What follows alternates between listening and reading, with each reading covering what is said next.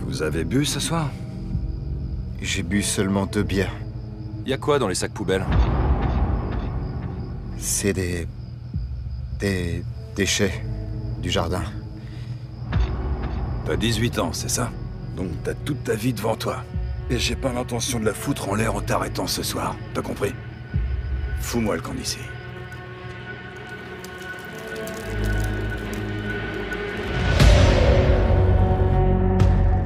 Bonsoir, ici Glenda, Cleveland. Pourriez-vous envoyer quelqu'un aux appartements Oxford rapidement?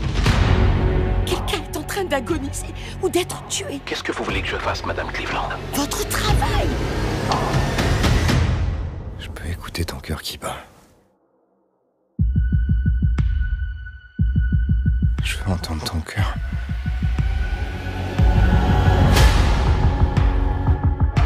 Vous méritez une deuxième chance. Eh bien, vous pouvez vous réjouir parce que je compte vous l'accorder.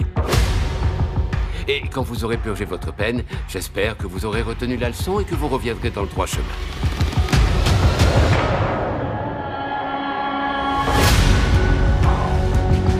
Ce mec est passé à deux doigts de me tuer. Et vous, vous me dites que vous allez rien pouvoir faire du tout. Oui. Je vous ai appelé pendant des mois. Pendant des mois Un homme comme si les gens n'avaient aucune valeur. On a beau faire tout ce qu'on peut, on nous écoute jamais. Donc vous dites que l'une des victimes avait réussi à s'échapper et que deux de vos hommes l'ont ramené chez Dahmer. Non, attendez, vous, vous, vous n'allez quand même pas le laisser ramener le petit chez lui Laissez-nous faire notre boulot. Je supporte pas de voir ta sale gueule Regarde-moi Regarde-moi, je te dis,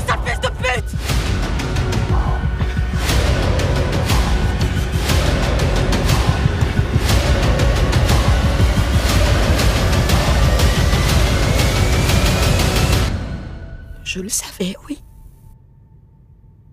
Mais personne ne m'a entendu.